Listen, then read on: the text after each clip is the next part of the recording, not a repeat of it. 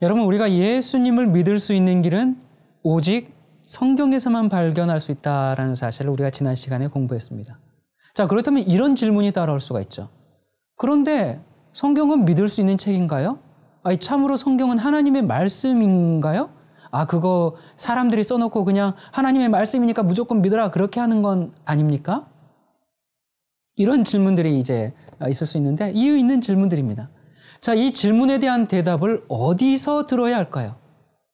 단연코 성경에서 들어야 합니다. 아, 그러면 어떤 분들은 아니, 성경이 믿을 수 있는 책인가를 성경에게 물으면 됩니까? 성경 외에 다른 곳에게 물어봐야 어, 물어봐서 확인하는 것이 합리적이죠. 그렇게 말할 것입니다. 어, 그 말은 아주 합리적으로 보여요. 그러나 결코 그렇게 할 수 없고 그렇게 해서도 안 됩니다. 왜 안 되는가? 이불서 6장 16절에 보면 사람들은 자기보다 더 큰 자를 가리켜 맹세하나니 맹세는 저희 모든 다투는 일의 최후 확정이니라. 자, 하나님이 아브라함에게 약속하실 때 이제 그 어떻게 했어요? 어, 그 자기보다 더 큰 이가 없기 때문에 자기를 가리켜 맹세하셨습니다. 만일 하나님이 자기가 아닌 다른 무엇을 걸고 맹세를 하면 그 가리켜 맹세한 그것이 하나님보다 더 믿을 수 있는 존재가 되는 거 아니겠습니까? 그러므로 하나님은 자기 외에 가리켜 맹세할 어떤 것이 없어야 마땅합니다. 그와 같이 성경은 믿을 수 있는가? 이 질문에 성경 이외의 것에서 대답을 구하는 것은 성경이 그만큼 믿을 수 없다는 말이 되는 겁니다. 그래서 성경은 믿을 수 있는가라는 이 질문에 단연코 성경이 대답할 수밖에 없고 마땅히 그래야만 하는 이유가 여기에 있는 겁니다. 오늘날 사람들이 잘 믿고 쉽게 믿어버리는 것은 과학인 것 같습니다. 왜 그럴까요? 그 이유는 과학이 실험으로 사실을 증명하기 때문인 것 같은데요. 사람은 이 실험에서 증명되는 것을 쉽게 믿고 또 그런 걸 믿기를 좋아하는 것 같습니다. 하나님은 이런 사람의 심리를 잘 알아요. 어, 사람들은 이렇게 증명되고 눈에, 눈에 봐야지 믿고 이런 아주, 아, 좀 일차원적이죠. 네. 그러, 그러다 보니까, 어, 성경은 과연 믿을 수 있는지 그것까지도 하나님께서 과학적인 방법으로 실험하게 하셨습니다. 저는 이러한 하나님의 사랑의 배려에 참으로 감사합니다. 사람들이 하나님, 당신이 구원의 하나님인 것을 내가 어떻게 믿겠습니까? 그런 이 인간들의 질문에 너희들이 의심이 많은데 그러면 나를 믿을 수 있는지 못 믿을 존재인지 한번 실험을 한번 해보고 믿어라 하시면서 하나님께서 뭔가를 하셨습니다. 어떻게 하셨는가? 인류의 역사적 사건을 미리 예언하심으로 실험할 수 있도록 해 주셨습니다. 그래서 사람들은 누구나 이 역사의 현장을 시험관으로 삼고 예언을 실험 재료로 삼아서 실험하여 그 예언이 역사적인 사실로 성취되면 예언하신 하나님은 참으로 믿을 수 있는 하나님이라는 그 사실이 증명되게 하신 겁니다. 그래서 예수님은 이렇게 말씀을 하셨습니다. 요한복음 14장 29절에 일이 이루기 전에 너희에게 말한 것은 일이 이룰 때에 너희로 믿게 하려 함이라. 또 13장 19절 지금부터 일이 이루기 전에 미리 너희에게 이름은 일이 이룰 때에 내가 그인 줄 너희로 믿게 하려 함이로라. 이사야 46장 10절에도 뭐라고 얘기하면 하나님은 종말을 처음부터 구하며 아직 이루지 아니한 일을 옛적부터 보이고 나의 모든 기뻐하는 것을 이루리라. 그렇게 하시는 분입니다. 여러분 하나님은 세계 역사의 시작과 진행과 종말을 한눈에 다 보시는 분이기 때문에 그걸 미리 말씀해 주셨고요. 그것이 역사의 현장에서 하나하나 성취될 때 그것으로 하여 하나님의 말씀은 믿을 수 있다라는 그 증거가 되게 하신 겁니다. 하나님은 예언하는 그 능력을 참 하나님 되심의 하나의 증거로 제시하고 있습니다. 이사야 41장 21절부터 제가 다른 번역으로 읽겠습니다. 이스라엘의 하나님 여호와께서 온 세상의 우상들에게 말씀하신다. 너희가 신이라는 증거를 제시해 보아라. 너희가 앞으로 계획한 일들을 미리 이야기해 보아라. 너희가 말한 대로 세계 역사가 흘러가면 우리도 너희를 신으로 생각하겠다. 좋은 일이든 나쁜 일이든 너희의 말대로 맡기만 한다면 우리가 모두 깜짝 놀라서 너희를 존중할 것이다. 자, 그러면서 하나님께서 이러한 거짓 신들에게 말씀하셨는데 하나님은 어떻게 하실 수 있다 그 말이에요? 미리 예언하시고 그를 성취되게 하신다 그 말입니다. 하나님은 어떻게 하든지 우리가 하나님을 믿어서 영생에 이르게 하기를 원하십니다. 그래서 하나님을 믿을 수 있는 길을 성경 말씀으로 기록해서 우리에게 주신 것이고요. 그리고 이 기록된 말씀을 믿을 수 있도록 하기 위해서 뭘 주었다? 예언을 주신 겁니다. 예수 그리스도의 구소, 그 구원의 경륜을 확실히 믿도록 하기 위해서 사람이 살피면 분명히 알 수 있는 이 인류 역사의 진행을 미리 예언해서 그것이 역사의 현장에서 명백히 성취되는 것을 보므로 성경의 다른 기록들도 믿을 수 있는 사실임을 알게 해 주신 겁니다. 그러므로 성경은 과연 믿을 수 있는 책인가? 이 질문에 우리가 성경의 대답을 듣기 위해서 우리는 성경의 예언을 연구해야만 합니다.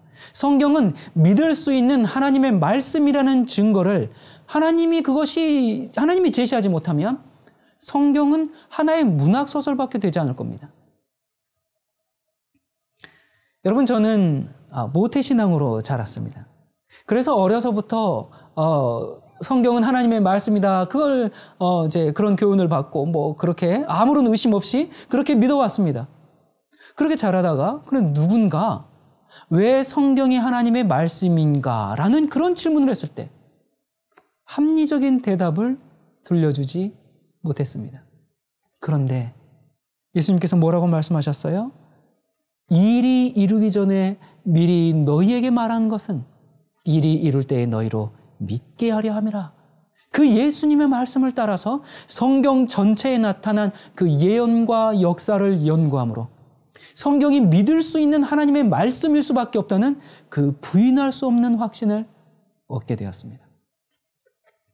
여러분 성경의 예언들을 연구하면 하나님의 그 말씀의 확실성을 보면서 감탄할 뿐만 아니라 경탄하면서 정말 그렇게 할 수밖에 없습니다.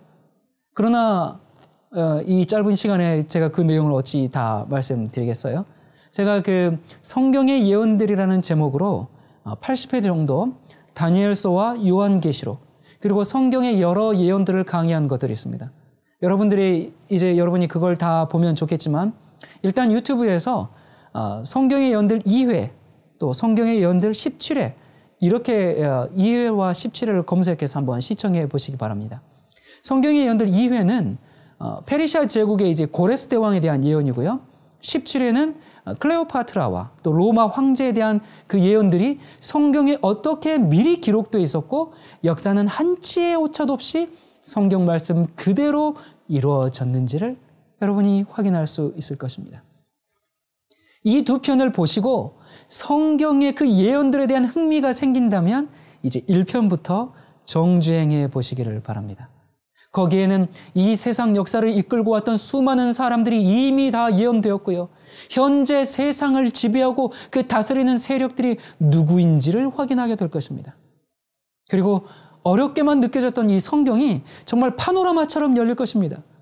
성경이 그냥 어, 글자가 아니라 입체적으로 여러분에게 다가갈 것입니다. 막연한 신앙이 아니라 눈으로 보고 듣고 만지는 그런 살아있는 신앙, 예수님과 동행하는 체험적인 신앙, 참된 거듭남을 가져오는 그 신앙의 부흥을 경험하게 되고 여러분이 그렇게 소망하는 예수님을 만날 수 있을 것입니다. 어떤 사람들은 그래요. 너무나 그 정확한 예언과 그 성취 때문에 오히려 성경의 기록을 믿지 않으려고 합니다. 아, 그것은 어, 역사적 사건이 다 이루어진 다음에 나중에 어떤 사람이 그것을 예언처럼 그렇게 기록한 것 아니냐. 그게 아니고서요. 어떻게 이렇게 정확하게 기록할 수 있느냐. 아, 그렇게 이야기하는 사람들도 있어요. 그러나 여러분, 예수님은 어떤 분이시라고 아까 본인이 스스로를 소개했습니까? 종말을 시작과 끝을 처음부터 고하시는 분이라고 선언하지 않았습니까? 예수님은 이 일이 이루기 전에 어떻게 하신다고요? 미리 너희에게 말한다고 선언하지 않았습니까?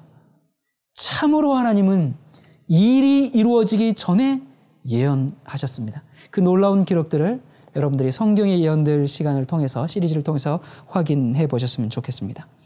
자, 다니엘서 12장 4절에 보면 마지막 시대에 많은 사람이 빨리 왕래하고 지식이 더해갈 것이다. 그렇게 예언을 했거든요.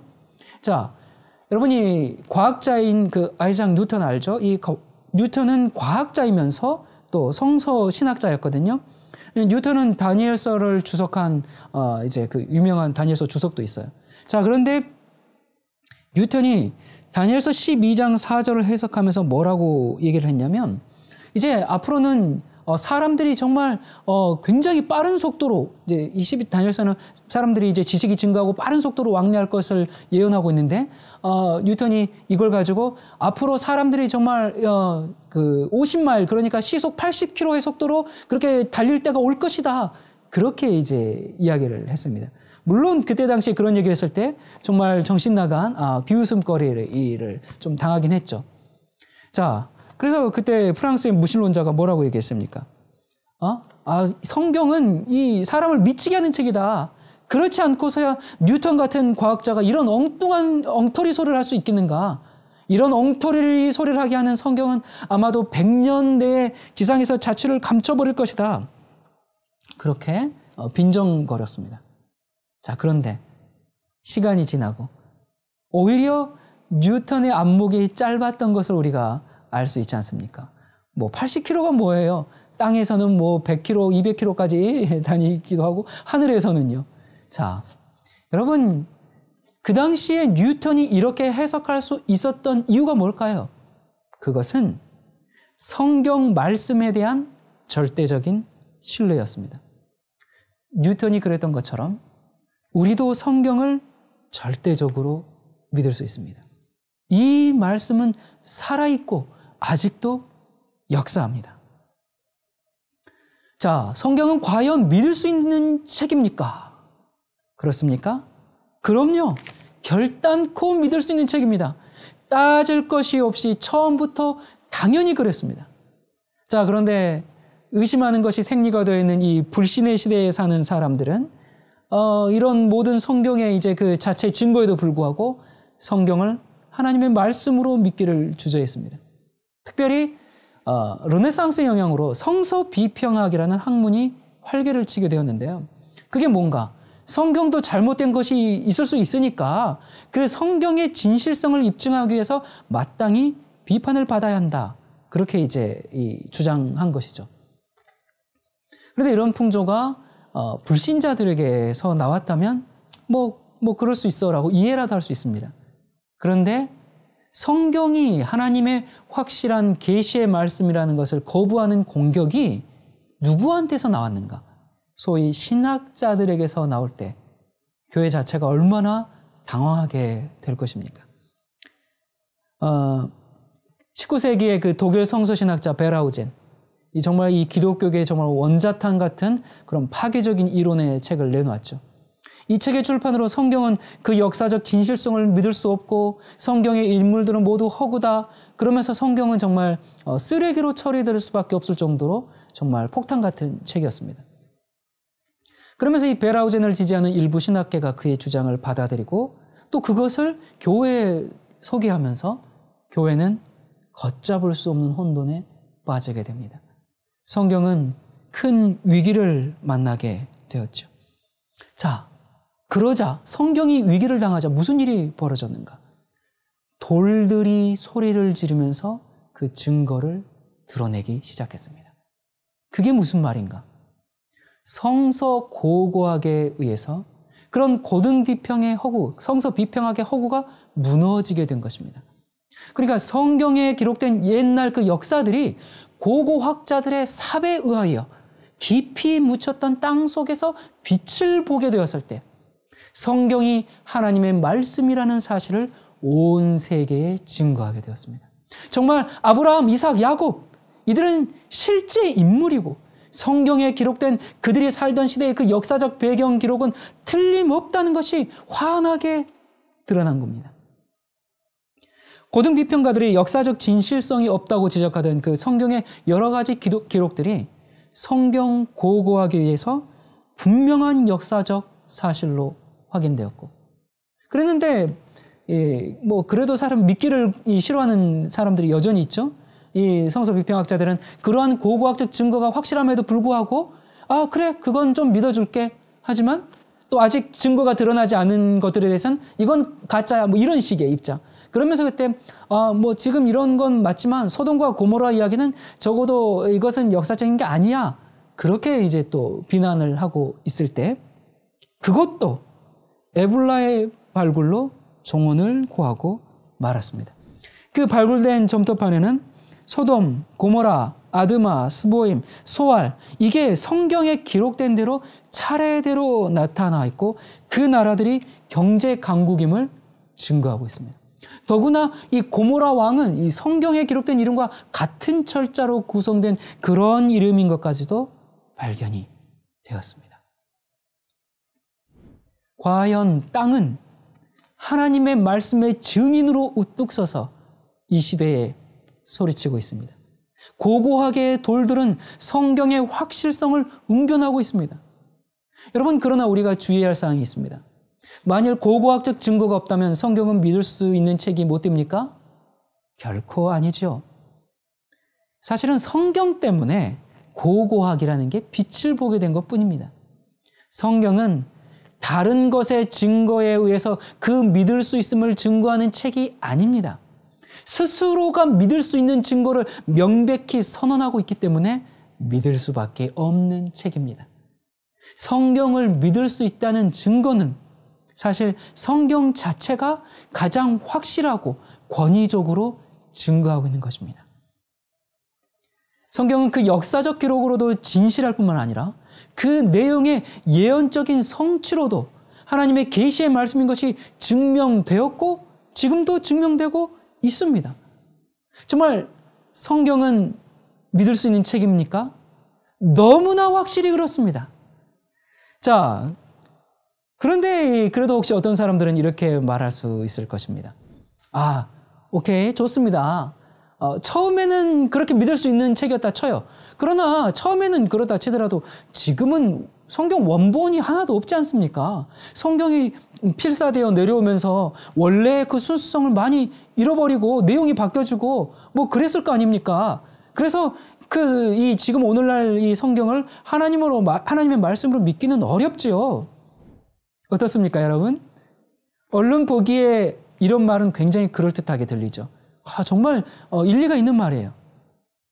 그런데 이런 질문에 대한 답변으로 1947년에 성경의 사본이 얼마나 정확한 것인지를 증명하는 일이 일어났습니다. 무슨 일인가? 1947년 2월 3일, 한 소년이 자기가 돌보는 그 주인의 양 한 마리를 잃어버리고 이제 걱정이 되어서 친구와 함께 잃어버린 양을 찾으러 이 사해 근방에 쿰난 동굴 산비탈을 헤매고 있었습니다. 그들이 이제 어떤 굴 앞에 이르러서 혹시 양이 그 안에 있을지도 모르겠다 생각하고 이제 굴에 들어가기 전에 얼마나 깊은지 알아보기 위해서 어, 굴 속에 돌을 하나 던졌습니다. 그랬는데 이 돌이 딱 들어가면서 뭔가 그릇이 타닥 어, 깨어지는 그런 어, 둔탁한 소리가 들리는 게 아닙니까? 그래서 뭐지?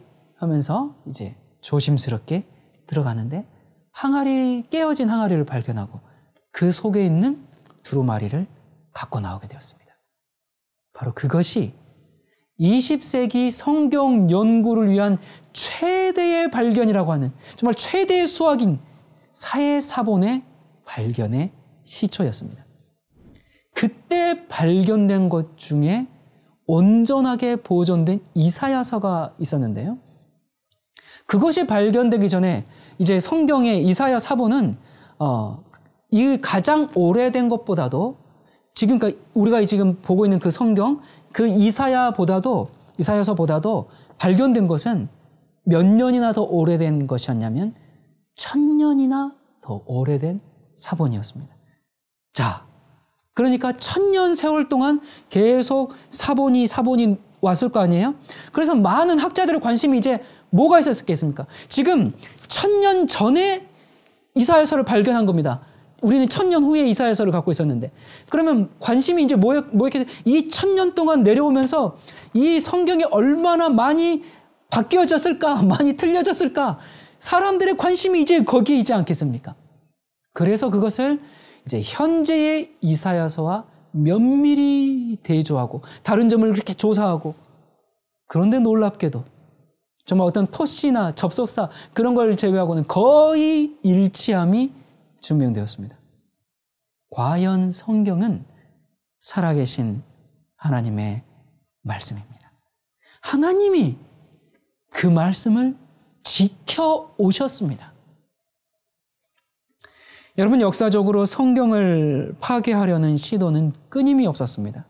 로마 교황청은 성경을 보는 사람들을 화형에 처했죠. 성경을 집에 가지고만 숨겨놓고만 있어도 다 색출해서 그 사람들을 다 어, 죽음에 이르게 했습니다.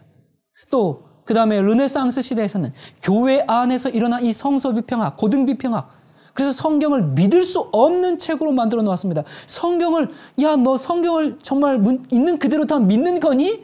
아유 정말 수준하고는 이런 식으로 만들어 놓았습니다. 그러나 그것도 성경 고고하게 발달과 함께 그 주장이 거짓됨이 다 드러나므로 성경의 신뢰성은 결코 흔들리지 않았습니다.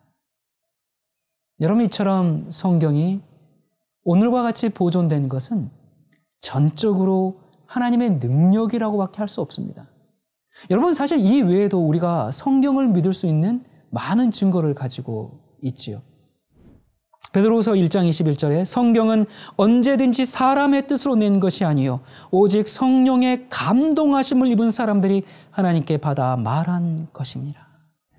여러분 성경은 이런 책입니다. 성경은 천지가 없어지기 전에는 율법의 1.1획이라도 없어지지 아니하고 다 이루어질 그 하나님의 말씀입니다. 이 성경, 이 성경은 참으로 믿을 수 있는 하나님의 말씀인 것을 인해 감사하지 않을 수가 없습니다. 여러분, 오늘 제가 성경을 믿을 수 있는 몇 가지 증거들을 좀 말씀드렸어요. 첫 번째가 뭐였습니까? 예언. 자, 그 예언은 오늘 전혀 다루지를 못했습니다. 그렇기 때문에 여러분들이 성경의 예언들이라는 어, 제 강의 시리즈를 꼭 찾아서 어, 정말 시청해 보시기 바랍니다. 그리고 고고학, 그리고 성경의 사본, 이 모든 것들의 증거가 우리에게 성경은 믿을 수 있음을 웅변하고 있습니다. 여러분, 종교개혁이 어떻게 일어났습니까? 단순히 교황의 그 폭정의 항거에서 일어난 민중운동이 아닙니다. 어떻게 일어났냐면 성경을 읽고 성경을 깨닫고 일어난 운동입니다. 그래서 종교개혁자들은 그렇게 성경을 번역하기 위해서 목숨을 걸었습니다. 성경을 가지고만 있어도 그 죽이는 시대에 그것을 번역해서 보급했습니다. 그렇게 목숨을 걸고 민중에게 돌려줬는데 아무도 안 읽어요. 아무도 안 읽는다면 종교개혁을 한 이유가 없어져 버린 것입니다. 여러분, 루터는 성경을 읽고 교회를 개혁했습니다. 그 개혁의 정신이 계속 이어지려면 성경을 읽고 개혁을 완성해야 하는데 루터 초상화만 보면서 앉아있고 목사님 얼굴만 보고 앉아있다 보니까 참된 믿음이 퇴보해버린 오늘날 현실이 되었습니다. 여러분 믿음이 강해지길 원하십니까? 여러분 구원받기를 원하십니까? 로마서 10장에 그러므로 믿음은 들음에서 나고 들음은 그리스도의 말씀으로 말미암았다 했습니다. 목사님들의 설교에만 의존하지 말고 직접 성경을 읽고 예수님을 만나게 되는 은혜가 있으시기를 정말 간절히 바랍니다. 제가 다음 시간에는 사람이 왜 믿음을 가지고 살아야 하는지, 성경이 말하는 기독교의 복음은 무엇인지, 종교는 그저 나약한 사람들만 믿는 것인지, 이런 문제에 대해서 나눠보도록 하겠습니다.